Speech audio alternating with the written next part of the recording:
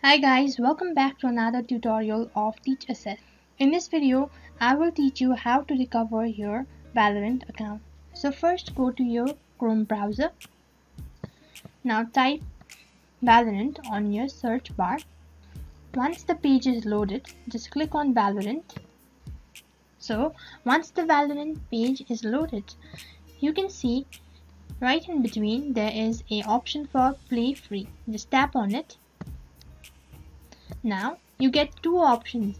If you don't have an account, you make sure you click on make one and if you have an account, you click on sign in.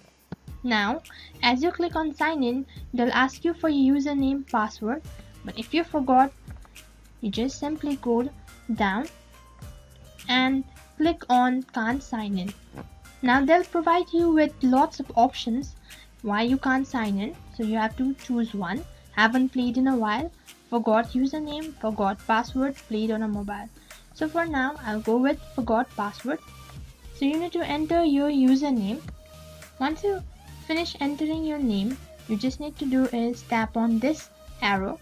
So now you see the one that you used to sign in with. Okay. If your username matches an existing account, we will send a password reset email within a few minutes. If you have not received an email, check your spam folder or contact player support. Now they will be sending us an email. So go and check your email. As you see that I already got an email, now you just scroll it down and just click on this link below. Now you get an option to create a new password.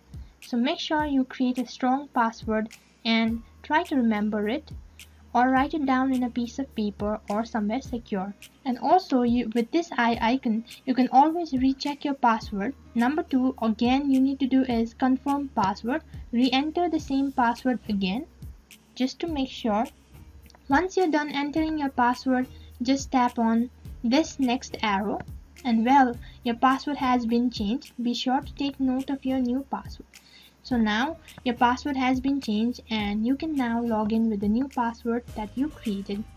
I hope you liked the video. Thanks for watching. Don't forget to share, like and subscribe.